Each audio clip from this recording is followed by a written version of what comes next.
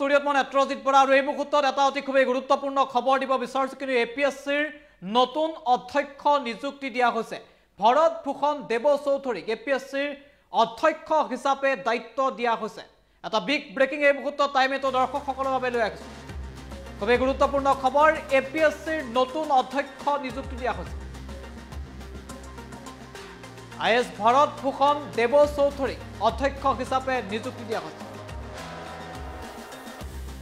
মাধ্যমিক শিক্ষা বিভাগৰ সচিব আছিল দেৱ চৌধুৰী। পূৰ্বে এ পি এছ চিৰ পৰীক্ষা নিয়ন্ত্ৰক হিচাপেও তেওঁ কাৰ্যনিৰ্বাহ কৰিছিল বুলি জানিব পৰা গৈছে আৰু এইগৰাকী আই এছ বিষয়াক এ পি এছ চিৰ নতুন অধ্যক্ষ হিচাপে নিযুক্তি দিয়া হৈছে। আমি জনাইছোঁ এটা অতি গুৰুত্বপূৰ্ণ খবৰ ভাৰত ভূষণ দেৱ চৌধুৰীক এ পি এছ চিৰ নতুন অধ্যক্ষ হিচাপে নিযুক্তি দিয়া হৈছে। অসম লোকসেৱা আয়োগৰ পৰৱৰ্তী অধ্যক্ষ হ'ব ভাৰত ভূষণ দেৱ চৌধুৰী। জনাইছোঁ এটা অতি গুৰুত্বপূৰ্ণ খবৰ।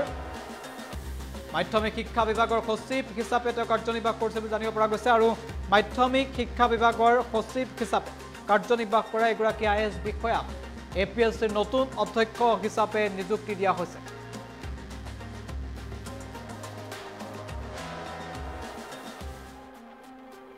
আৰু এগৰাকী হৈছে ভাৰত ভূষণ দেৱ চৌধুৰী আমি দেখুৱাইছোঁ।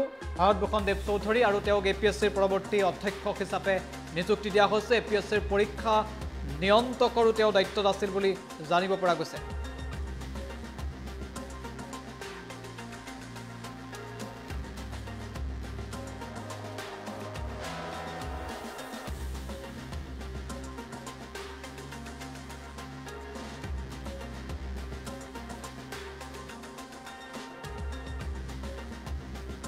জনাইছোঁ এটা অতি গুৰুত্বপূৰ্ণ খবৰ তেওঁক বজালীৰ জিলা উপায়ুক্ত হিচাপেও তেওঁক মাত্ৰ কিছুদিন পূৰ্বে দায়িত্ব দিয়া হৈছিলে।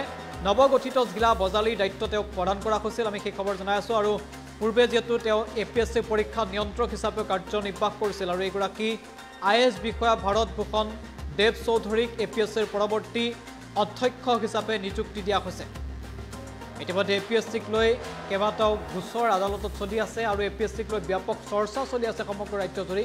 আৰু তাৰ মাজতে এ পি এছ চিৰ নতুন অধ্যক্ষ হিচাপে I S I S Bharat Bhushan Dev চৌধুৰীক দায়িত্ব অৰ্পণ কৰা হৈছে।